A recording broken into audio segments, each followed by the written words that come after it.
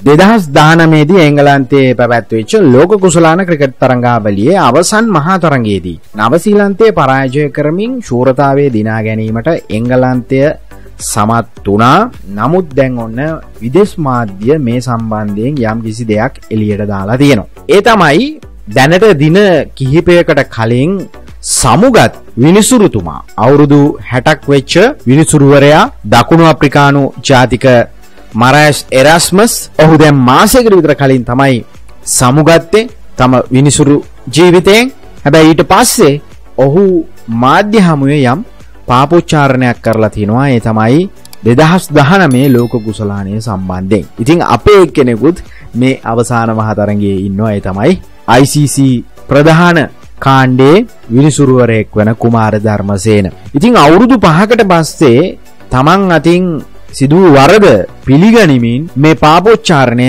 විදෙස් මාධ්‍ය හමුවේ සිදු කරලා තියෙනවා. තිමාරේ රස්මස් කියලත් කියනවා. ඉතිං මේ විනිසුරුතුමා අපි කවුරුත් දන්නා හඳුනන ජනප්‍රිය සහ ප්‍රසිද්ධ විනිසුරුතුමෙක්. හැබැයි යම් යම් අඩුපාඩු මොහුගෙනුත් වෙලා තියෙනවා කියලා අපිට යම් සැකසංකා ඒ කාලයේදී තිබ්බා. විශේෂයෙන්ම අපිට මෑත කාලයේදීම අපට සමීප වෙන සිද්ධිය තමයි ටයිම් අවුට් සිද්ධිය.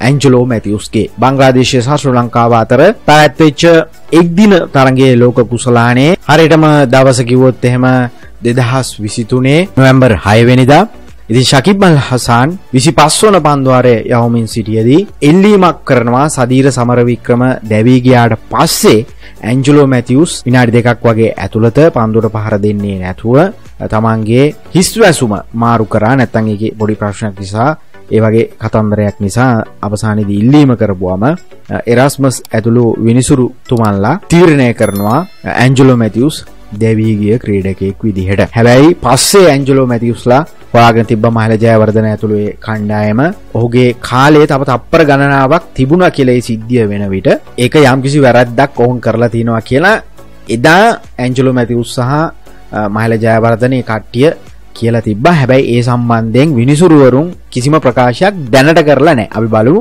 පස්සේ දවසක එහෙම සිද්ධ වේදි කියලා මේ වෙන දේවලුත් එක තුර කතාව එක නෙමෙයි. කතාව මෙන මේකයි. නවසිලන්තය සහ එංගලන්තය අතර පැවැත්වෙච්ච දෙදහස් දහ මේ ලෝක කුසලානේ අවසාන මහතරගේ තීරණාත්මක අවස්ථා දෙහෙකදී ලවාදීපු තීරණ සම්බන්ධයෙන් තමයි මේ පාපොච්චාරණය හු කරලා තියෙන්නේ. ඉතින් නවසීලන්තයේ ක්‍රයිස්ට් චර්ච් වල පැවති නවසීලන්තය හා ඕස්ට්‍රේලියාව අතර දෙවන ටෙස්ට් තරඟයෙන් පස්සේ විනිසුරු දිවියට සමුදුන්නු එරස්මස් ඩේලි ටෙලිග්‍රාෆ් සමග පැවති සමූක සාකච්ඡාවකදී තමයි මේ 2019 ලෝක කුසලානේ අත්වැරදීම් සම්බන්ධයෙන් පාපෝච්චාරණයක් කරලා තියෙන්නේ.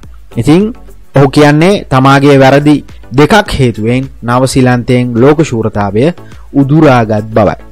ඔහු මෙහෙම කියනවා. නවසීලන්ත ක්‍රීඩක රෝස් ටේලර් වැරදි ලෙස කඩුල්ල මුවා කිරීමේ වරදට දවාලීම ගැන මම කනගාටු වෙනවා. පන්දුව පෑඩ් එක උඩින් වැදුනා මේක මුළු තරඟාවලියම මගෙන් වෙච්ච පළමු වැරැද්ද. ඒක නිසා පස්සේ මට ගොඩක් කනගාටු හිතුණා. අනෙක් වැරැද්ද තමයි ලකුණු පහක් දිය යුතු අවස්ථාවේ ලකුණු හයක් ලබාදීම මම එහෙම නොකලා නම් ප්‍රතිඵල සම්පූර්ණයම වෙනස් වෙන්න තිබුණා එහෙනම් ඇතැම් විට නවසීලන්තය ලෝක කුසලානය අරගන්නටත් තිබුණා එරස්මස් කියනවා. අවසාන මහතරගේදී පළමුවෙන් පන්දුවට පහර දුන් නවසීලන්ත කණ්ඩායම ලකුණු 241ක් ලබාගත්තා. ලකුණු 242ක ඉලක්කයක් හඹාගෙන ගිය එංගලන්ත පිළ ඒ ආසන්නයටම එනවා. ජයග්‍රහණය උදෙසා අවසන් පන්දු තුනට ලකුණු 9ක් ඕනේ වුණා. සිව්වන පන්දුවේදී මිඩ්විකට් පැත්තට එල්ල කළ ස්ටෝක්ස් දෙවැනි ලකුණ ලබා ගැනීමට දුවගෙන යනවා මාටින් ගප්ටිල් කඩුල්ල වෙත පන්දුව එල්ල කරනවා. එම පන්දුව ස්ටෝක්ගේ පිත්තේ බැදිලා හතරේ සීමාවට ගියා. එහිදී විනිසුරුවරුන් ලෙස කටයුතු කළ එරස්මස් සහ කුමාර ධර්මසේන කතා කරලා එංගලන්තයට ලකුණු හයක් ලබා දෙනවා. ඒ කියන්නේ දෙකක් යනකොට තමයි මේක පිත්තේ වැදිලා හතරේ සීමාවට ගියේ. ඉන් අනතුරු එංගලන්තයේ ලකුණු සම වෙනවා, සුපිරි ඕවරයක් යනවා. ඒකත් සම වෙනවා. එල්ල කරපු 6 සහ 4 පාරවල් වැඩිම සංඛ්‍යාව තිබ්බේ එංගලන්තයට කියලා එංගලන්තයට ශූරතාවය පිරිනමනවා. ඉතින් මෙම සිද්ධිය එදාම විශාල මතභේදයකට පත්වෙච්ච කාරණයක්. එදා ICC විනිසුරු නීති උපකමිටුවේ සාමාජිකයෙක් වෙච්ච සයිමන් ටොෆල් මහතා. විනිසුරුවරුන් නීතියට අනුව ක්‍රියා කලා නම් ලෝක කුසලානය හිමිවන්නේ නවසීලන්තයට කියලා තමයි කියලා තියෙන. එනිසා විනිසුරු මරයිස් එරස්මස් අද සිදු කරන පාපොච්චාරණය සහ එදා සයිමන් ටෝෆල් කියපු දේ අනුව ඒ මතයයි මේ මතයයි මේ පාපොච්චාරණය බලපුවම අපිට සම්බන්ධකමක් තියෙනවා කියලා දැන් හොඳටම පැහැදිලි වෙනවා. ඉතින් බෙන් ස්ටෝක්ස් නවසීලන්ත කණ්ඩායමෙන් සමාව ඉල්ලලා තිබ්බ පස්සේ කේන් විලියම්සන්ගෙන් ජීවිතන්තය දක්වා සමාවිල්ලනවා වගේ ප්‍රකාශක සිදු කරලා තිබ්බා. මෙතන්සේ සිද්ධිය තමයි අමතර ලකුණු හයක් ලැබීම. ලකුණු හයක් නෙමෙයි ලකුණු පහක් විය යුතුයි කියලා තමයි එරස්මස් දැන් කියන්න. ඒ තමයි ලකුණු දෙක සම්පූර්ණ කරලා නැහැ. පස්සෙ කියනවා මේ පසුවදා උදෑසන. කුමාර ධර්මසේන තමන්ගේ හෝටල් කාමරේ දොර ඇරගෙන එලියට ආපු ගමන්. එකැන මේ අවසන් මහා තරංගය අවසන් වෙලා පහුවදා ගැන මේ කතා කරන්නේ. එලියට ආපු ගමන් එරස්මස් හම්බවෙනවලු මේ හෝටලේ ලොබියේ දෙන්න එකට. එතකට ධර්මසයන ගෙනවලු බලන්න එරස්මස් අපි ලොකු වැරද්දක් කරා. අන්න ඒ වගේ කතාවක් කිව්ව කියලා ජාතියන්ත්‍ර මාධ්‍ය වාර්තා කරලා තියෙනවා.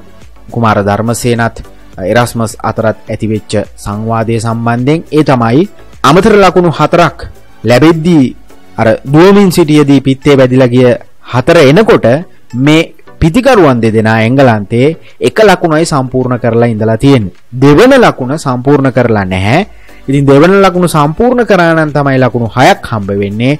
දෙවන ලකුණු සම්පූර්ණ කරලා නැති නිසා ලකුණු පහයි හම්බ වෙන්නට ඕනේ කියන එක තමයි ඔවුන්ගේ තර්කය බවට පත් වෙන්නේ. එහෙම වුණානම් අවස්ථා දෙකකදී ලකුණු සමවෙද්දී එල්ල කරපු හතරේ පහරවල් සහ හයේ පහරවල් නිසා තමයි එංගලන්තයට ලෝක කුසලානය යන්නේ අරක ලකුණු පහක් වුණා නම් ඒ ජයග්‍රහණය බොහෝ දුරට නවසීලන්තේ පැත්තට යන්නට ඉඩ තිබ්බා කියන එක තමයි දැන් ඔවුන්ගේ තර්කය බවට පත්වෙන්නේ. ඉතිං එත්තන කෝම හරි අර මිනිස්සු අතින් සිදුවන වැරැද්දක් සිද්ධ වෙලා තියෙනවා කියලා තමයි කියන ඇතේ විනිසුරුවරුන්ද මනුෂ්‍ය කියලා කතාවක් තියෙනවා ඉතින් සාමාන්‍යයෙන්. ඒ වගේ වැරද්දක් සිදු වුණා කියලා තමයි මෙතන කියවෙන්නේ.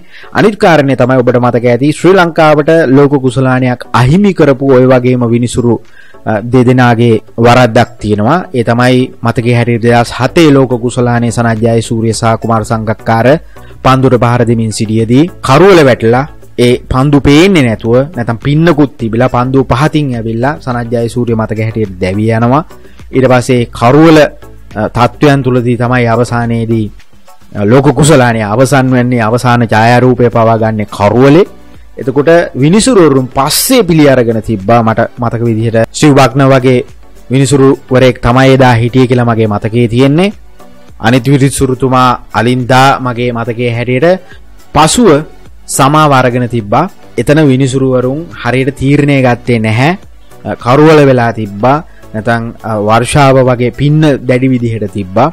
එක කලින් අතර කරන්නට තිබ්බ වගේ කතන්දරයක් කියලා. පස්සේ සමාව අරගෙන තිබ්බ අවුරුදු ගණනාවකට පස්සේ. දැන්ගේ සමාව අරගෙනත් නැතන් එහෙම පාපොච්චාරණයක් කරලත් සෑහෙන කාලයක්. ක්‍රීඩා කිරීමට තරම් සුදුසු ආලෝක තත්ත්වයක් ඒ වෙලාවේ තිබ්බේ නෑ වගේ අදහසක් තමයි ඔවුන් කියලා තිබ්බේ පසු කාලීනව. එතකොට මේ විනිසුරුවරුන් ලෝක කුසලාන අවසාන මහතරංගවලදී මේ වගේ පිස්සු කෙලිනවා කියලා කියන්නේ ඉතාම බරපතල කාරණයක්.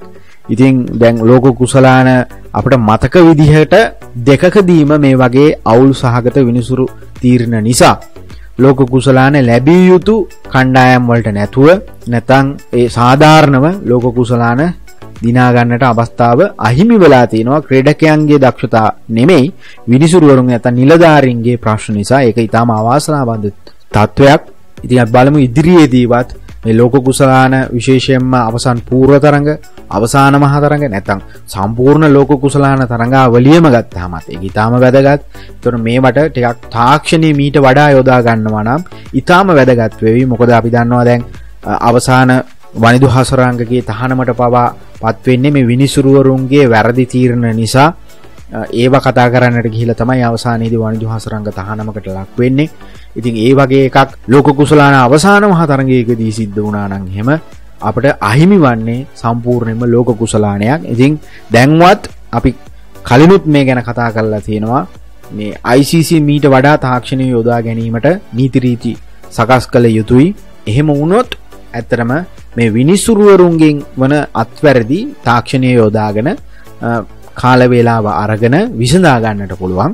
මෙතන තියෙන සමහර අවාසනාවන්ත සිද්ධීන් තමයි ටීවී අම්පයාට දාපුවම ඔහුත් අමුතු තීරණ ලබා දෙන තත්වයකුත් මෙතන පේනට තියෙන ඉති එහෙම වුණාම මොකක් හරි ඇපිල්ල එකක් ඒ අවස්ථාවම ක්‍රඩකයන්ට කරන්නට පුළුවන් මට්ටමේ මොකක් හරි නීතිරීති සම්පාධනය විය යුතුයි මේ අලුත් යුගයක්. තිය නිසා අපිට හැටපේනදේ ඔහු වෙනස් කරලා කියනවනම් ඒක නැවත ඇපිල් කිරීමේ හැකියාවක්වත් හදන්නට පුළුවන් නම් ඉදිරියේදී එන ඇතරම තරඟාවලි මීට වඩා සාධාරණයෙන් යුතුව සිදු කරගන්නට පුළුවන් වේ කියන එක තමයි අපට දැම් පේන්නේ විනිසුරුවරුම්ම පසුකාලීනව කරන පාපොච්චාරණ වලින් හැබැයි මොන පාපොච්චාරණය කරත් අපට දැන් අතීතය වෙනස් කරන්නට බැරි වෙලා තිනවා. ඒක තමයි කනගාටුදායකම සිද්ධිය. මොකද නවසීලන්තයට තවමත් සීමිත පන්දුවාර ලොක කුසලානයක් ඩ්‍රයග්‍රහණය කරගන්නට බැරි වෙලා තියෙනවා සමහරක් විට මේ විනිසුරුවරුන් නිසා තමයි ඒ අවස්ථාවෝන්ට අහිමි වෙන්නට ඇත්තේ.